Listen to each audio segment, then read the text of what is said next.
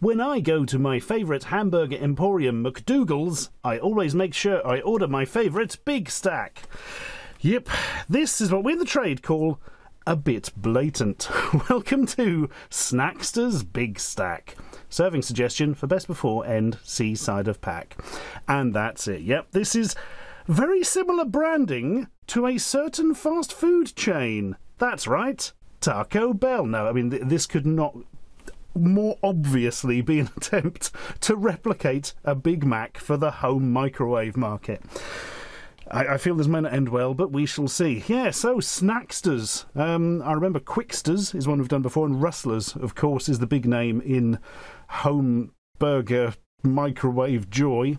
And I use the term joy relatively loosely. I mean, I've had a lot worse, and equally, I've had a lot better. But burgers, not something that really do that well in a microwave in general. So I'm going to be very intrigued to see how this goes along. Best before is a guideline only. Hey, so you could eat it 20 years after the. No, don't do that. Keep frozen at minus 18. Do not refreeze after defrosting. Oh, yeah, important stuff there. If you don't like being horribly, horribly food poisoned, do not refreeze after defrosting. So, and that's just general things, not just this. Best before end, April 22. Yep, we could have it in the freezer for a year. But no, frankly, I needed the space in the freezer. I'd actually planned a completely different video for today, by the way, but I saw this in the supermarket and was like, oh my god and then I need the space in the freezer. So this came round to pass very quickly. Okay. I mean, it seems to have all the all the hallmarks of a Big Mac. There, you've got three bits of bun, you've got two small burgers, you got a bit of lettuce. Lettuce worries me. Frozen lettuce in a, and what's the sauce going to be like? I'm just trying to not think about the lettuce, frankly. How how are they going to do lettuce freezing and then heat? Surely you can't do the lettuce in the microwave. Well, we're about to find out. A double sliced white bread bun containing two cooked seasoned beef and chicken burgers. There is chicken in this for, for reasons, and a slice of processed cheese served with a sachet of burger sauce. Why is it? Why isn't it just beef? Why what? 49% beef, 37% chicken. This is really smacking of, um, yeah, reclaimed meat. It's going to be all your legs, all your anuses, all your eyelids. Now, I've got no idea, but, mm, yeah, okay, we'll, uh, we'll deal with that when we come to it. Right, cooking instructions. All cooking appliances vary in performance. True enough, these are guidelines only. Check the product is piping hot throughout. I love that. That is a phrase you only see on uh, cooking instructions. Piping hot.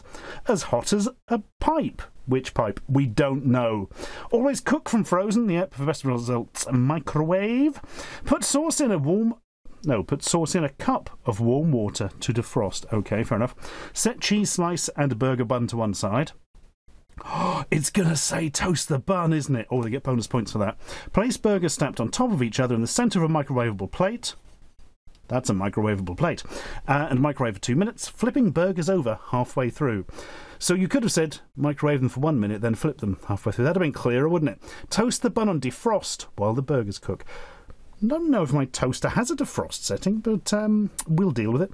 Assemble the product into a burger, including the cheese slice, and microwave for one minute. Garnish with sauce and enjoy. Is there any lettuce in here? Sesame wheat, sesame seeds, cooked burgers. Yeah, of course they're already cooked. Hmm, well, we'll open it up and we'll have a look in a minute. Alternatively, oh, now we're talking. Put sauce in a cup of warm water to defrost, that's the same. Set cheese slice and burger bun to one side, that's the same. Place burgers stacked on top of each other on the centre of a microwavable plate and microwave for two minutes, flipping burgers over halfway through. What? Assemble the bow. Isn't that the same? What's different? So, so place burgers stacked on top of each other on the microwave centre microwave for two minutes, from burgers over halfway through. Toast. Uh, assemble the product into a burger and choose to microwave for one. Ah, right. I'm. I see. I think my brain removed the part where it's implying you should microwave the bun because that is a thing of evil. Evil. Do not microwave the buns. Always stick them in the toaster. That will improve your burger microwave experience massively. Warning instructions. Although every care is taken to remove all bones, slep may remain.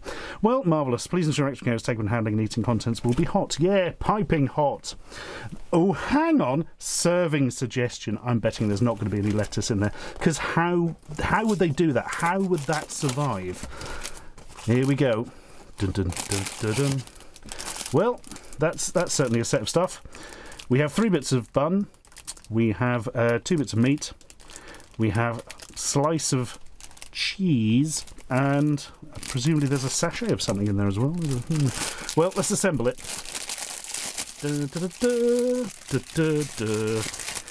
That was fun. Right. Well, the burgers look about the same size as from a Big Mac, I suppose. I'm not entirely impressed by the sort of burnt bit on the top there, but oh, oh hang on, you can't see that. Sorry.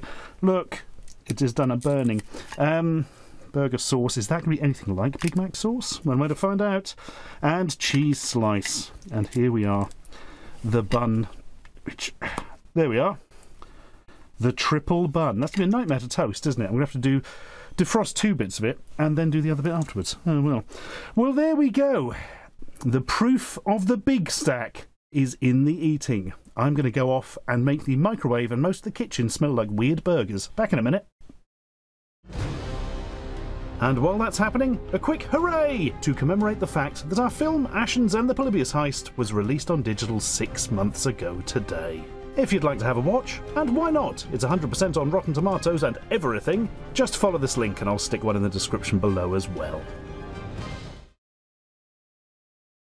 Before we show the beauty of the finished article, um, I just want to go through these instructions again, right? Because I totally misinterpreted before, because I went through them with a fine tooth comb before actually making it, obviously.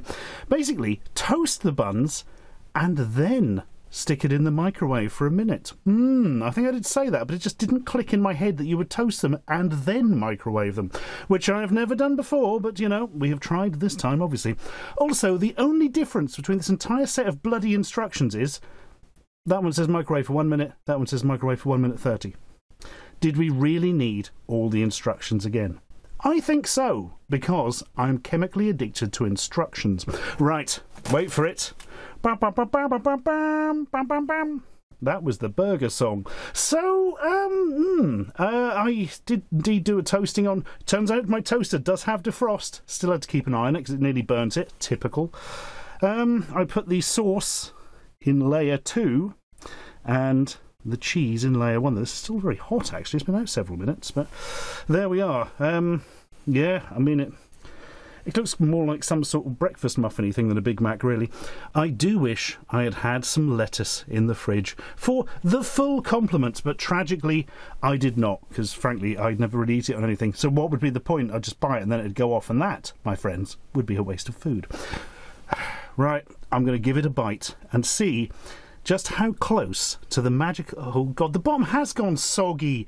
Why microwave it? Uh, I think it's doing it to sort of melt the cheese and stuff, but d- don't microwave your burger buns, guys. Oh, even though we toasted it, it's not great. Right, I'll see you on the other side. Hmm. Okay. Getting a hint of the sauce. And a hint of the cheese. The flavours are coming together, right? The cheese is exactly as you'd expect, and frankly, very similar to what you would get at McDonald's. The sauce, I only got a brief hit of it, then kind of disappeared. And the meat, the yeah, the meat is. I think I would have noticed it wasn't all beef. Put it that way. Um, texture's different, and it's just really salty. It's just uh, like massively salty, and I can't really taste a whole lot else. There's a line for everyone to take out of context. I'm going to try a little bit of the sauce on its own. Hang on. Oh, hot. Oh.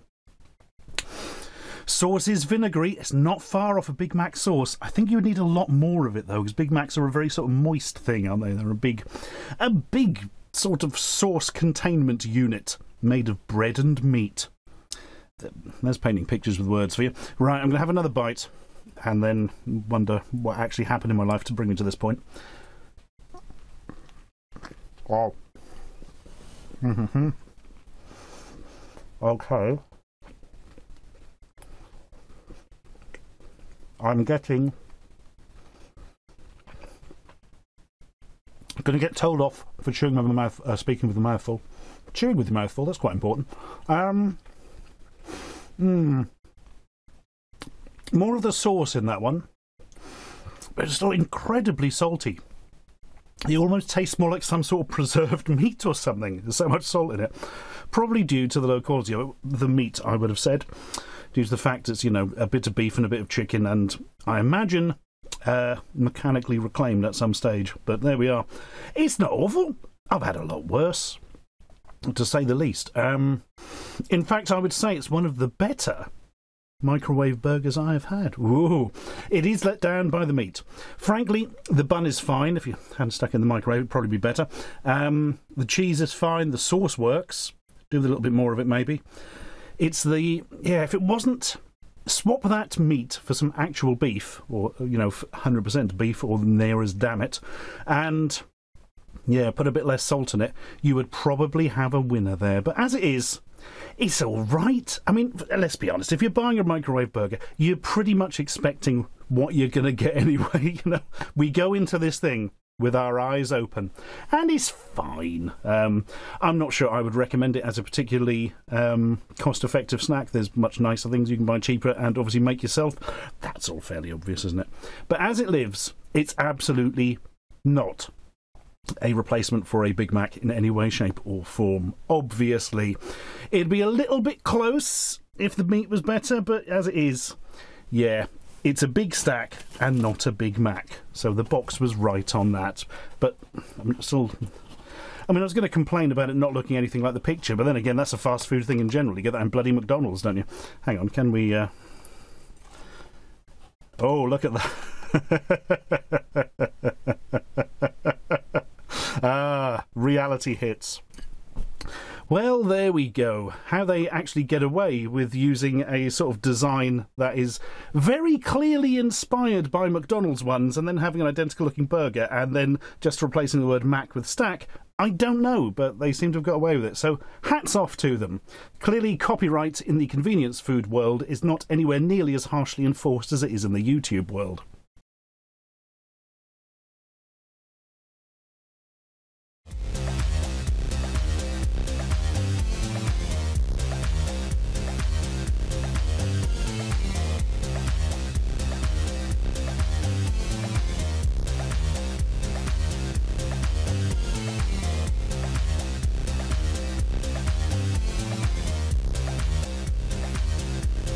Subscribe for more.